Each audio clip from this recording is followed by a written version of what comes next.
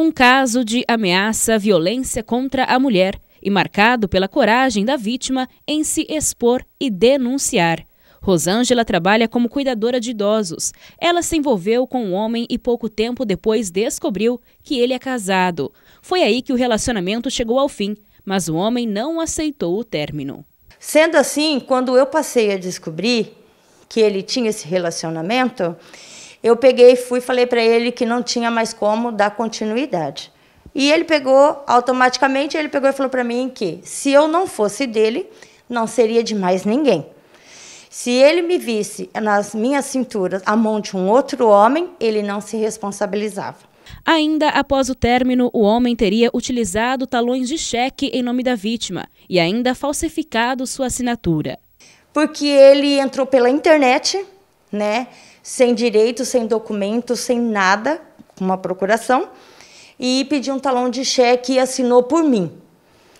E eu pedi, entrei em contato com ele, fui perguntar o motivo, e ele disse que não teria como falar naquele momento. E as pessoas que ele soltou o cheque entrou em contato comigo, e eu já tinha feito um boletim de ocorrência como estelionato. Foi onde ele começou a me ameaçar, e ele disse que se ele fosse preso, entendeu? Ele ia fazer os meus filhos na minha frente para eu sentir a dor lentamente. E depois ele faria os meus pais, que ele sabe aonde meus pais moram, né? Na minha frente também. Depois ele faria eu.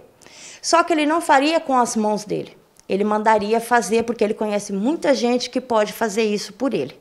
Boletins de ocorrência foram registrados na delegacia de Umarama. A casa de Rosângela já foi alvo de arrombamento, furto e até ato de vandalismo. Há registro de um veículo que passa pela residência. Uma pessoa arremessa uma pedra na luz do poste. Em seguida, no muro da casa, que é de vidro.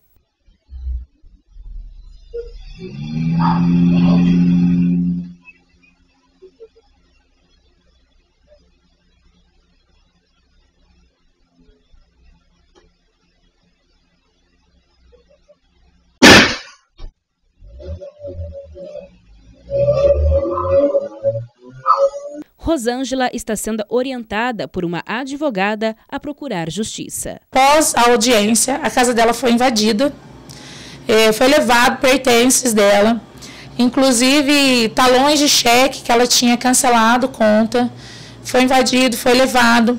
Está sendo solto cheque, folhas de cheque com assinatura falsificada dela, mas agora tem se intensificado. Essa semana, é, um carro passou na frente da casa dela por várias vezes, até que esse carro voltou e tacou uma pedra no poste de luz, apagando a luz, e depois tacou novamente a pedra no muro, que é um muro de vidro. Tá? Então, assim, realmente ele está cumprindo as ameaças, está tornando a vida dela um inferno, via celular, via na casa dela. Quando foi no sábado à noite, novamente, um outro carro mas agora na imagem aparece uma mulher descendo e repetindo a mesma ação, tentando terminar de quebrar esse muro. Para coagir a vítima, o agressor relata que não vai ser preso, que tem influência na polícia da cidade, como explica a advogada. Está uma situação complicada, a gente sabe que o, o judiciário está né, tá abarrotado, é, é, é, demorado. Então, a gente, é, ela está recorrendo né? A, a mídia está recorrendo ao tatu.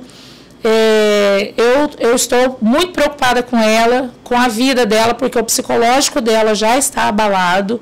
E peço também às autoridades policiais, que eu acredito que não estão no bolso de ninguém, porque a polícia de Morama é muito capacitada, mas que tomem uma providência em relação a isso, porque essa mulher está precisando de ajuda. É, a gente não pode, não pode esperar que ela morra para que seja elucidado o caso, para que é, vá atrás desse homem, para que tome um posicionamento, para que haja investigação. Tem que ser tomada um, uma medida agora, já rápida porque o Marama está com uma situação de homens agredindo mulher, homens matando mulher de uma maneira exacerbada. Após contato com a equipe de reportagem, Rosângela esteve pela primeira vez na Delegacia da Mulher. Ela foi atendida pelo próprio delegado, Adailton Ribeiro Júnior, que já solicitou uma medida protetiva que já foi deferida pela Justiça. Sobre a influência na polícia de Moarama, nós procuramos o 25º Batalhão de Polícia Militar, que assim como a Delegacia da Mulher, está à disposição para o atendimento a mulheres vítimas de violência. É, em 2006 foi criada a Lei 11.340, que é a lei que versa sobre a criação de mecanismos para coibir a prática de violência doméstica contra mulheres. É uma lei que foi criada com vistas a proteger e a salvaguardar a vida dessa mulher, trazer orientações para que ela possa entender que ela sim vai ser protegida pela polícia, pela legislação. Né? Então, essa mulher não pode se sentir é, coibida é, dessa prática, dessa denúncia. Então, em qualquer situação que a mulher seja envolvida, é, não somente em violência física, porque a violência doméstica também abrange a violência verbal, violência psicológica, violência sexual, entre diversas outras situações que a mulher pode estar inserida no ambiente familiar, doméstico, é, através do seu esposo, do seu pai, do seu filho, qualquer outro familiar próximo ali dessa mulher. Então, ela pode se sentir sim é, à vontade para fazer essa denúncia, que tenha garantia tanto da legislação quanto do amparo da Polícia Militar para que ela consiga é, sair dessa situação.